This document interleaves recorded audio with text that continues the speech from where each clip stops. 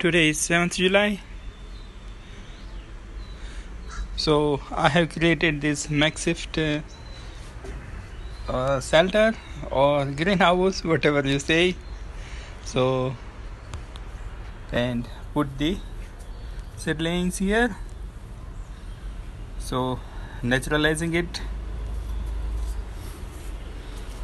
I just open it and it's open when rain comes or there is a hot sun you just cover it.